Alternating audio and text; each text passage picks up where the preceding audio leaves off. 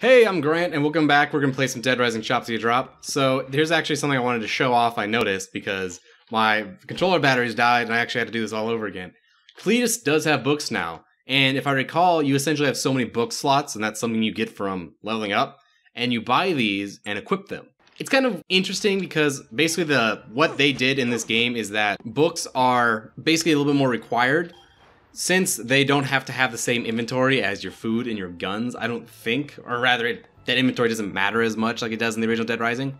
They the books are a little bit different. Like individually, I'd say the books really aren't worth it if they were in a Dead like say Dead Rising one, just because like they don't do nearly the same effects. Instead, you'll like get a skill. Like I think there was like the suplex skill, it just lets you do that when you get the prompt. I'm sure there's some that are actually particularly good. There's also that toy laser sword one, which I'm guessing is probably like, oh, maybe there's one or two you want to grab because you know you really like that weapon, and that's what you do. But I don't know.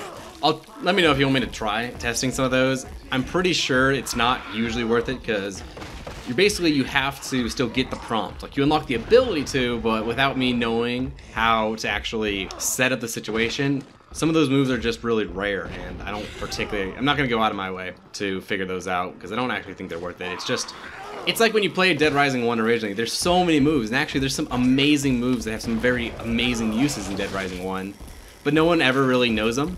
If you are a fan of Dead Rising 1, I heavily recommend Disembowel, always a big one. You can use it on the Special Forces. Obviously, the knee drop. The melee move system in Dead Rising 1 was really good, and it's actually, honestly, really powerful. Like, obviously you have your double lariat and stuff, and your other big basics, but I gotta say, when I went through and I tested a whole bunch of them, I was amazed at some of the uses they had. Man, these are actually, like, really good.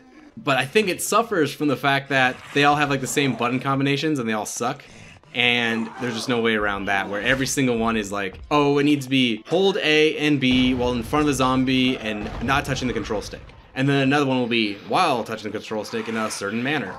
This so I looked into, as part of that last episode, I talked about how they have all these hidden missions, which are just missions from the first game, or the original game, that they made hidden. And you have to do certain things to unlock them. And as part of that, I was looking into some of the other weird additions to this game, and there are things I'm going to get to, but it's after overtime mode there's a ton of these weird quests that aren't timed. It'd be like doing like these missions. And they're entirely unique to Dead Rising Chop Till You Drop. There's nothing like it in any of the games. So I really want to show that because they range from being like kind of dumb, like, okay, kill every zombie in the food court as fast as you can. That's something where it's, it's not really that interesting, but if this is your only game, it's probably actually is a really fun challenge. But then there's also one that's like, Cletus takes you out to the park here, and he does basically clay shooting. He throws zombies and random objects into the air and you have to shoot them really quickly. It's like, is it still Dead Rising 1? That's radically different. God damn. So I always try to get like worked up before I record these just so I can be a little more energetic. Oh, they move these guys. Oh, that's right. And as part of that, that makes me gesture a lot, and that doesn't work with these Wiimotes. So they're gonna run away from me. I always forget that. I guess they don't run away from you in the main game, do they? They just refuse to move. This is interesting though because I always did think that it was a little easy that you're gonna go do the scoop and you were in the bookstore, so you just run like 10 feet, not 10 feet, 10 steps over and just grab the book. That is kind of dumb. So I guess here you just have to know that, oh, you need the book. And I'm guessing, I know to, I, I know to do this, but I'm guessing that if I just talk to them long enough, then that would actually give me a prompt to go here. And I bet this is actually the tutorial on books, because that's why I just recently unlocked them. And I think this way might explain why books are a thing. Like, I already got the prompt essentially telling me how to use books. But I'm guessing maybe it would have happened right there if I hadn't already done that. I'm actually like super spooked because like I don't consider Dead Rising 1 to be particularly scary, and I think part I think partially a lot of that is just you know, over time, you get desensitized that kind of stuff. But I was filming here and I probably heard like a knock at my door and like no one was there. It was kind of creepy. So now they should talk to me. Doesn't explain why they don't want to run away. I mean, obviously it's just so you can actually talk to them. God damn. You know, as weirdly as this game is, it is a kind of a cool little attention to detail that they actually turn and talk to each other.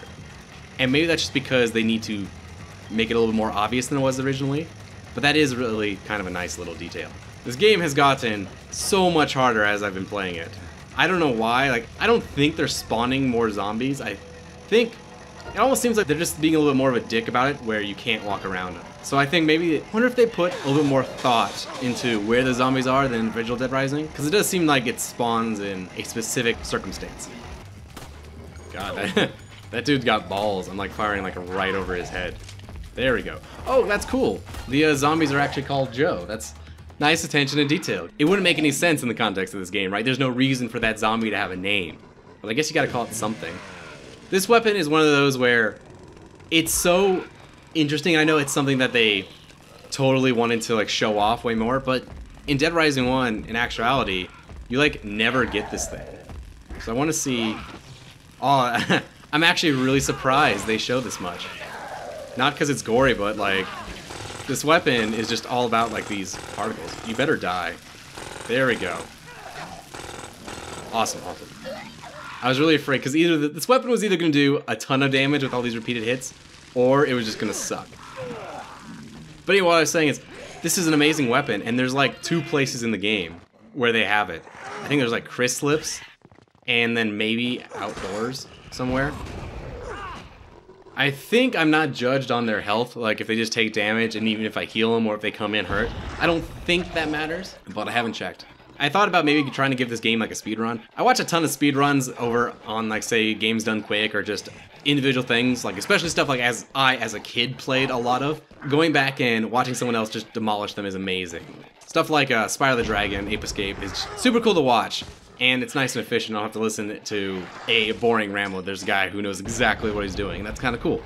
As part of that, I kind of wish I had like one game that I was like, it was like that's my thing, and honestly, that would have been Dead Rising 1, but obviously you can't speedrun Dead Rising 1 just because of the whole timer aspect. I have a bad habit of not paying attention to what's going on with those guys. And I really need to fix that because otherwise I'm going to have the situation of the lovers again where like, okay, we're doing fine, we're doing fine. Oh, oh, someone died. Shit. I think they overdo the like the poodles and stuff in the park just because otherwise the large open space is just going to be too easy. So this is something I don't I'm not a Wii gamer. I never owned the Wii, although people keep giving me Wii's. It's very specific. But one thing I never noticed is the Wii's fucking loud. I don't know why, it's just loud. This little motor that vibrates the controller in the Wiimote makes a ton of noise. And I just have the Wii like freestanding on my entertainment center, and that thing has its fans just cranked. I guess maybe it's got like dust or something. Where are you? He should be like, oh, wait, is he stuck on the tree? He's probably like following me somewhere, and I just can't see him.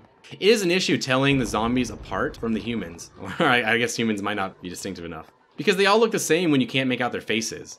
Like over off in the distance, you just see the silhouettes.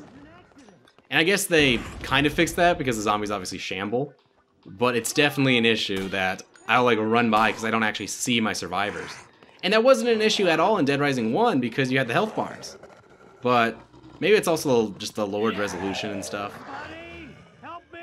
I have totally fully committed to using the guns though. They are obviously the way to go. And clearly what the game's built around is they expect you to be using guns all the time. I haven't found a good way to get ammo though, so I don't know. I think there's obviously got to be an answer. You can't buy it from Cletus, and I guess you could essentially grind it. I don't know where you'd necessarily do that. I know you can get it from Cletus's area, not like buying it. There's boxes and vases, and if you break those open, which is hard, I can only the only thing I know of right now on how to do that is I guess by shooting them, which is redundant because I need the ammo. But I guess if you needed ammo, like if you're playing on some really hard challenge or difficulty, you might want that. This is fun though. I actually really do like this shooting mechanic. I actually, I would look where to get ammo up if I could. One thing I noticed, and the, one of the reasons I wanted to do this series to show off Dead Rising Chop Day Drop is, there's not a lot of info on this game. And the stuff that is is like these super shitty template pages on these random sites. It's like imagine you have like GameFAQs and IGN, and then imagine like a copy of that, and then a copy of that, and that's what these those are like the only sites that have any info for Dead Rising Chop Suey Drop. And even then, all the info clashes with each other. Like one will call this like there's quest mode, another one calls it like additional tasks. It's really weird and I can't find a straight answer. The wiki isn't helpful at all, really. I think it's because it clashes so much with the main Dead Rising game that you can't actually get any of the info you need. I do think it was a bad design though that it takes two headshots to kill a zombie. I always thought this was such a cool idea for a scoop though, because this entire game is essentially, it's a Japanese made game, and I'm not gonna say it's like a commentary or anything on American culture, but it was a thing that they had to go like study American malls and all this like research they did. And that's how this was built. And that's super cool. And I always felt that that specific quest, like this specific one was must have been like how they felt making that journey. And there's not that much, I guess, flavor in this quest. They just talk and then you escort. But I, I imagine that it had a lot of personal appeal to them. So if I can find food, I'm gonna save this guy. But I, it was a thing before where it's actually really hard to find food. Like in Dead Rising 1, generally if you go in stores, like every other store has a snack or something to give you. There's a lot of stores in this game that there's just nothing. This is a thing I want to rant about, and I thought about doing a series where I just kind of like bitch about things in games because I feel like I've been saving that up. And one of the things is just how many games have just like bullshit minutia like, I get mechanically why they have all those barriers there to make you go to certain places, like to make it a little bit more difficult and what have you. The one thing I hate so much is just having to go from point A to point B and just holding up on the controller. I would hate to see that stat of just how long my, in my life was just me holding up on a controller waiting to get from point A to point B. It's fine if it's, oh, I'm getting through zombies. That's gameplay. That's what I'm here for. But it just sucks when, oh, like here, if there's nothing between me and the door, it just sucks for me to have to run forward like that. I've been debating what missions I want to do because I really want to experience the changes, like the small stuff, like, oh, the book's in a different location. That's super interesting to me. But honestly, I will say the escorting is kind of grinding on me. Or just like the minutia. That's really what's getting me is just the small minutia of, oh, one little hit, another little hit. It's like, God damn. It. So if I'm using my actual, God damn it. I'm using my Dead Rising lore. Hello. There should be food in the stairway. Or over by the bathrooms. What is he doing? Is he just taking damage because he's far away? Because it's like really slight. Oh, thank you. So, I guess I gotta heal him. Heal him. And I can find some more for myself. I doubt there's gonna be anything in here. Although I could save, what would that even do? Oh my god. Oh my god. I did not, I did not think that through. Oh, awesome. It actually pops me right back here. I was afraid it was going to be way back at the start of the mission. It's actually kind of a problem, in my opinion, how you have to do these one-on-one. -on -one. So, like, I can't do two scoops at the same time. Because it's just, it's so freaking inefficient. And it's not any kind of difficulty or anything. It's just, I don't want to have to keep running all the way through the park. And I can use the shortcut and stuff, but even then, like, I've done it before. I don't want to keep doing it. There's so much time in this game that's just me running around. And there's probably no food in here still because of that one gourmet scoop. So I gotta get up to that one plaza, or hopefully he dies. This dude has been on that like last 10% for a long time. I'm guessing this is kind of like when you leave someone into a in a different loading zone in Dead Rising 1 where it's just like attrition damage. I think that's what's happening with this guy right now. Holy shit. There's a setting. You can change the brightness. Okay. Cool. Hold on, let me out this in general a little bit. Huh. I, I haven't actually looked through these audio settings, or any of these settings, blood settings. Huh. Weird. This game is weird. I want I everyone just like to see this timer and appreciate how long it's just taking this guy to die. And this goes back to why I think this game is really built around the experience of like escorting these guys, not necessarily the absolute challenge. Like they want you to go back and get him. So I think they kind of delay it but make it look like it's way worse than it is. Because then you have the experience of him getting lost and having to go back. I also rant about this? Like literally I'll just turn around and just spawn zombies in on me. So now there's one zombie. Still one zombie. Now there's no zombies. Take one step, now there's five zombies. it gets super annoying. Actually, honestly, I feel like you might be well off just to like look at a wall. God, curse myself. Look at this. See, now there's just zombies. It, it really sucks. Like, I think what I need to do is, maybe not look at a wall, I just need to stand with my back to the wall and look out on just some area.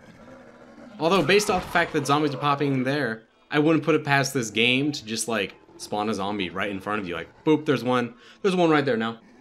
There we go. That took so long. So long for that guy to die. Finally. I don't I don't know how much of that I'm gonna cut. I just essentially just messed around. I learned a bunch of stuff, like I was going through the menus. I was just trying just different random things. But man, I I can't believe it took so long. Although I will say honestly, if this was changed and I wasn't recording, I actually kind of would like that mechanic because the game does try to help you. Because again, this game's built to give you a good experience. So me trying to game it is kind of what I think makes it be so weird because I know, oh, there's no reason for me to go save that guy. It's weird because I always sit down and I actually I enjoy these recording sessions, but sometimes certain things about this game like I just can't stand. Like one of the things I want to rant about is minutia is how many fucking times have I had to walk just from the elevator to here and then they took too long.